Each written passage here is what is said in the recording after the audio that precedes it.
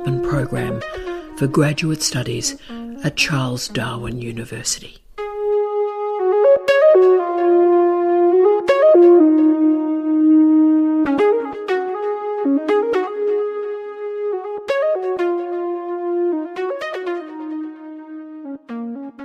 Hello, I'm Tara Brabazon. I'm the Dean of Graduate Studies at Charles Darwin University, and welcome to this Touchstones Progression session, Enhancing Student Writing Cultures. This has been a major request that I received from supervisors, and the timing of this particular request is excellent. So I'm summoning the research from a recent book edited by Anne Ruggles Gere, and the book was titled Developing Writers in Higher Education, a longitudinal study. Anne Ruggles Gere is the director of the Gayle Morris Sweetland Centre for Writing at the University of Michigan. Anne and her co researchers implemented a study of how writing and writers change through an undergraduate degree and explores what works and what doesn't when shaping writers through higher education. This is a timely study for all of us worried about universities, worried about the standards in higher education, and it is a corrective, if you will, of an earlier quite provocative study. Just over a decade ago, in 2011, Arum and Roksa produced a pretty edgy and controversial book titled Academically Adrift Limited Learning on College Campuses. It takes a great deal of courage to question the standards of teaching and learning in our universities. Our current focus, of course, is on employability and graduate attributes rather than the intellectual standards that are being reached. Richard Arum and Josipa Roksa stated that the quality of undergraduate learning is no longer a silent fear amongst academics, but a public problem for policymakers, for politicians, and yes, employers. They presented a longitudinal study locating the barriers to learning in undergraduate degrees. So they saw, for example, the impact of students spending time on, quote, non academic activities, end of quote, such as drinking and socializing. And that results in a lack of preparation for undergraduate and academic study. Quote, many students come to college not only poorly prepared by prior schooling for higher demand academic tasks than ideally lie in front of them, but more troubling still, they enter college with attitudes, norms, values, and behaviours that are often at odds with academic commitment. End of quote. They summon the customary argument that students are underprepared on entry into universities and conduct little personal study once on the campus. But the authors then enact a knight's move. They state, quote, if one is to cast aspersions on student learning cultures that exist on college campuses today, one would do well to focus equal attention on the faculty cultures and orientations. End of quote. Blame for a lack of educational achievement is not loaded onto students. Instead, a spotlight is shone on us as academics, our expectations, our preparation, and our inability to lift students to the required scholarly standards. Arum and Roksa focus on the disconnection between staff and students, starting from the conventional but correct argument that doctoral programs do not help academics become effective teachers, let alone supervisors. Subject expertise, or what Narelle Hunter, Jamie Quinton, and I have described as disciplinary literacy in a recent series of articles, is crucial to this discussion. But that is one component for the creation of a successful learning environment. What about the specialist teaching and learning and writing that we require in a higher degree program? The role of teachers in student learning is, of course, underplayed and undermined because we blame things. We blame schools. Students are blamed. And these are easy targets. A larger and more expansive engagement with this topic is from Christopher Newfield in his remarkable book Unmaking the Public University. He tracks what has happened to universities in the post industrial age. He describes what he's seen through his academic career, quote, intellectual and imaginative decline, end of quote. The failure rates, the lack of preparation for university, and the disparities in degree completion on the basis of gender and race provide pretty disturbing reading. And I'll make the obvious, of course, post COVID point. I've taught online since 1997, and we've seen money funneled to hardware and software rather than wetware. The rush to get materials online through COVID, the lack of engagement with those online materials by students, means that right now we have a generation of very underprepared students. And this is true for all disciplines, but I particularly worry for our students in the studio, lab based, and fieldwork methodology paradigms. The enthusiasm for educational technology has been the spine of most of our professional lives, I think, over the last couple of decades. And Coate and Allihar are clear. Quote, the enthusiasm about the application of the new technologies in the university setting has clearly outpaced the empirical evidence regarding their potential to enhance academic engagement and learning outcomes. It is clearly a curious development that so many people are willing to let technology drive the curriculum when it should be the other way around. End of quote. Now, their argument is incredibly important to us in doctoral education because reading and writing academically is incredibly difficult. Arum and Roksa argue that the focus on access in higher education rather than expectations once students arrive on campus results in students drifting through university without a sense of why they're actually participating in learning. Arum and Roksa ask a key question and then they answered it quote, How much are students actually learning? In contemporary higher education. End of quote. Instead of blaming students, their research looks to the scholarly expectations of us, of academics, and they found that 50, 50, 50% of students in their sample had not enrolled in a single course that required more than 20 pages of writing in a semester and 40 pages of reading per week. Wow. So Arum and Roksa offer a clear maxim, quote, when faculty have high expectations, students learn more, end of quote. So the issue is how we, how academics understand and we activate these expectations, these motivations, these standards, particularly when we are considering the future of doctoral education. If students are underprepared in undergraduate education without expertise in methodology, epistemology, ontology, and they do not hold the disciplinary literacies or the academic literacies, then the standards in doctoral education must decline. And they must decline because much of the doctoral degree is doing the work that we expected to be completed by an honours, capstone project, or master's. This is for me the big area. This is the big threat. But let's look at the new research from Anne Ruggles Gere. Let's look and find something positive, find options, alternatives, and potentials. How do we improve student writing? Well, Gere led a multi year study of 169 student writers who produced 2,406 pieces of writing with surveys, interviews, and e portfolios as part of the evaluative protocol. And there was a strong attention to naming conventions, and that allowed, therefore, a clear and profound meshing of qualitative and quantitative data sets. The study also revealed the differences in writing between people who took a minor in writing, so three or four subjects, and people who did not. Gere took on the assumption that writing improves through an undergraduate degree, and she actually asks, What does better writing or becoming a better writer actually mean?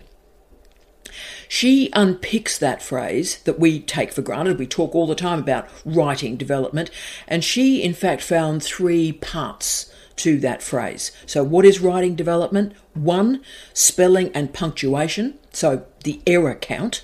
Two, disciplinary expertise, and three, the capacity to move through and manage writing challenges.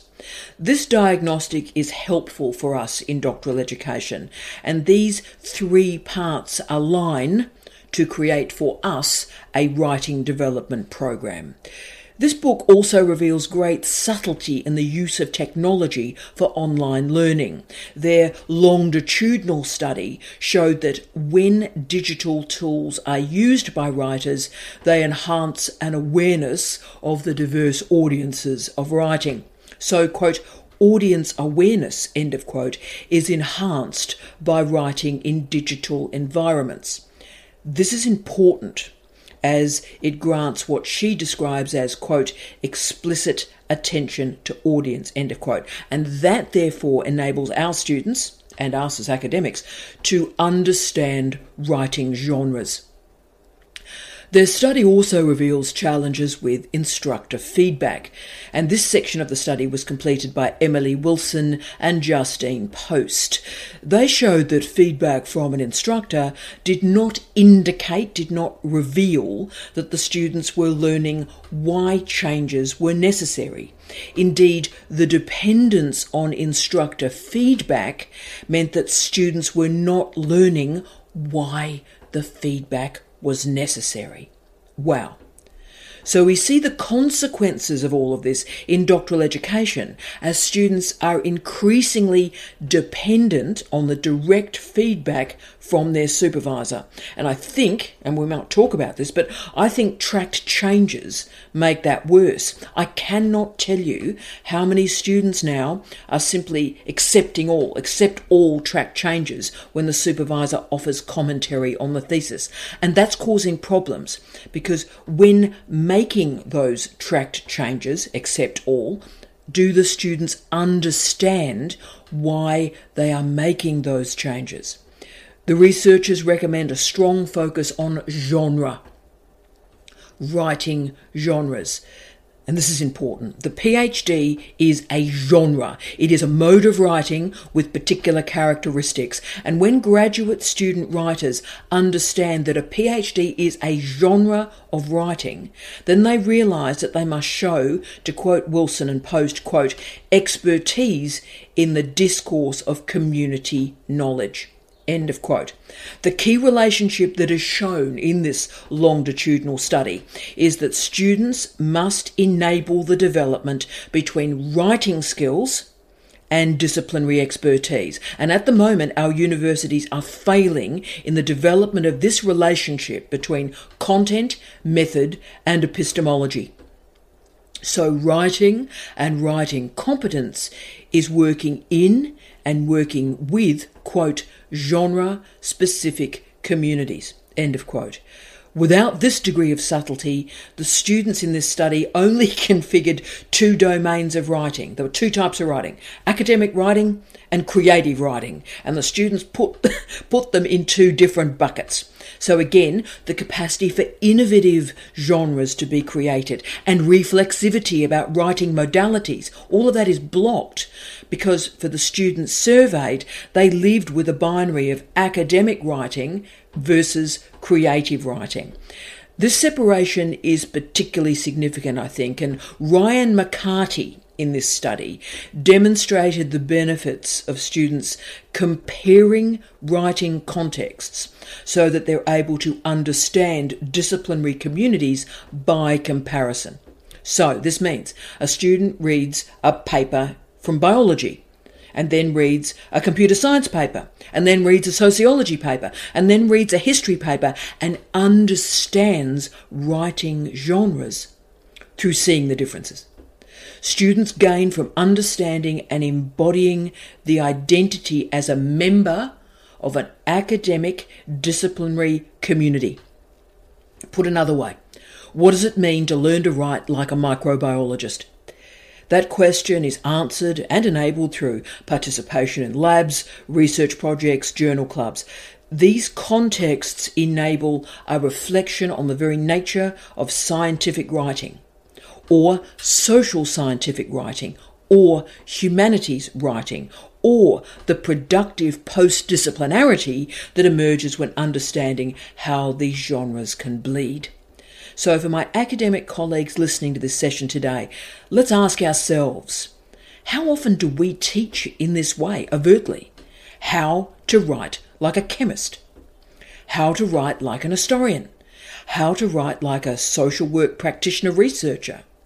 I've done this work from first year, from first year undergraduates, for nearly 30 years, but I've done it in, let's be honest, a bit of a, an unsubtle gothic kind of way. So in the first lecture of my first years, I put up a banned list of words and phrases in the first lecture of first year. And the reason I do this is I'm trying to block students from returning to easy answers and easy words and easy cliches and easy phrases. I demand, even from first year, that they reorganise their mind furniture. So some of the words I ban, and can I say it's a very long list, but some of the words I ban are everyone, everything, everybody thinks like this, most people, most people agree with that, mass culture. Now, I did that process to simply subvert and challenge their thinking, but the longitudinal research has shown that this was actually a pretty good technique, obviously delivered with more subtlety than I can manage. But these phrases that I ban are called generality markers. So, always, never, everyone, no one, people. And a proxy for a student developing as a writer through a degree is that they're less likely to use generality markers. So they exhibit fewer generalizations, less certainty, more rigour, more evidence. The key final research outcome from this study for Gere was the recognition that, quote, writing can never entirely be mastered, end of quote. So we are all students of writing. But experienced writers have resources to enable the management of new writing challenges. So when we're confronted by unfamiliar writing tasks or events, something we have to do, we have the strategies, the patterns, the protocols, the resources, the practices to manage that challenge. Most importantly, experienced writers demonstrate multimodal expertise, building verbal and visual textual relationships. And that means that the lessons learned in one platform or mode are then applied to others. This is powerful, this is important. If you think about it, through our formal learning years, writing is segmented through primary school, secondary school, college, and post college, post university writing goals are rarely even considered. Yet today, more than ever, most people on most days complete writing tasks in their daily life because social media are writing media. Writing has never mattered more to a greater proportion of the population. And the findings offered in this longitudinal study demonstrated that there is a real gap, and can I say this is a huge problem in doctoral education, but there's a real gap between what a student say they're doing in their writing and what they're actually producing. So, what they're saying they're doing in their writing and what they actually produce. In other words, students talk about elements in their writing, but they don't actually present those elements in their writing. But Gere and her colleagues show that there are specific interventions that make a difference in student writing. Creating a minor in writing through a degree has value, so a series of courses, professional development at a graduate level, offering strategies to work through multiple media environments, enacting multimodality, and using e portfolios improves students' writing. And finally, sharing writing with peers, or as they describe it, quote, being a writer among writers, end of quote. That's a powerful strategy for improvement. For those of us in doctoral education, the advice is clear. Students improve through bespoke academic writing courses, but also improve enormously when academic writing is taught within a discipline. And yet, and yet, think about how rarely we produce sessions of our undergraduate curriculum, let alone micro or nano learning for our doctoral candidates, with titles like Academic Writing for Chemists, Academic Writing for Physicists, Academic Writing for Criminologists. Instead, we summon assumptions and homology to hope our students learn something through feedback which this longitudinal study shows they do not.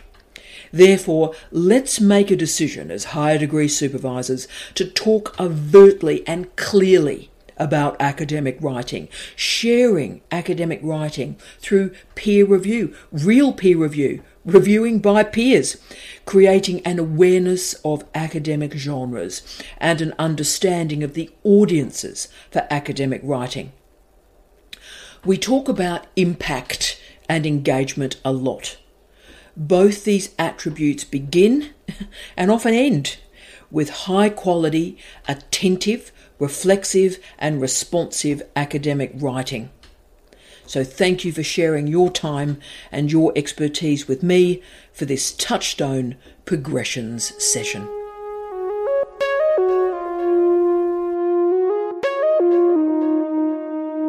Thank you for listening to Touchstones, our professional development program for graduate studies at Charles Darwin University.